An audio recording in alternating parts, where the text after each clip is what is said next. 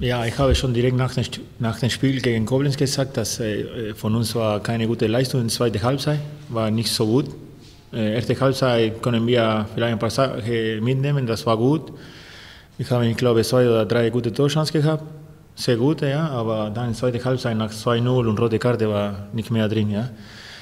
Und ja, Pokalfinale ist Jetzt ist total anderes Spiel, ja. Weil du spielst gegen dein Derby in einem Finale und für uns ist äh, in Spiel viel, ja. Und ich glaube, in dieser Woche ein paar Spieler haben auch verstanden um Basket und ich hoffe, dass äh, wieder unsere alte Leistung oder bessere Leistung, Leistung auf den Platz bringen, ja.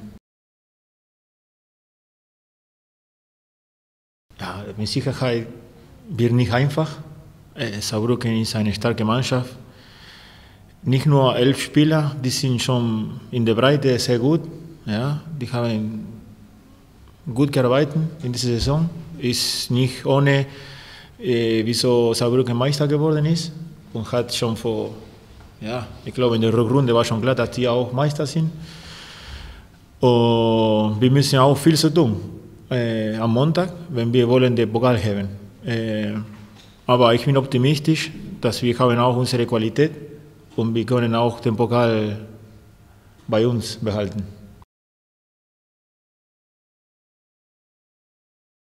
Das weiß man ja nicht. Ne? Die haben ja, wie der Leo schon gesagt hat, einen großen Kader, einen breiten Kader. Sie haben auch jetzt in der Schlussphase schon Spiele gehabt, zum Beispiel in Schott Mainz, wo sie mit zehn Mann äh, gegen einen Abstiegskandidaten locker gewonnen haben. Und es war fast das B-Team, wobei es gibt ja kein B-Team, aber es war zumindest nicht die Startelf. Äh, sie haben dann mit der Startelf auch jetzt wieder äh, gewisse Vereine äh, in die Schranken gewiesen.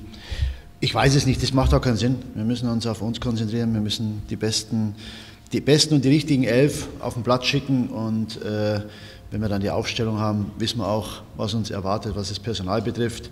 Ansonsten gehen wir davon aus, dass mein Kollege das 4-4-2 durchzieht und ob dann Behrens Schmidt oder Tausch oder Nostra steht, ich glaube, damit sollte man sich nicht befassen. Ja, relativ gut. Wir haben Moritz Göttl, wo jeder weiß, dass er nicht mehr zur Verfügung steht und natürlich auch leider Benno Mohr. Hat natürlich schon wehgetan letzte Woche, aber ansonsten stehen alle zur Verfügung. Die angeschlagenen Spieler trainieren wieder und von daher haben wir schon auch eine gute Auswahl.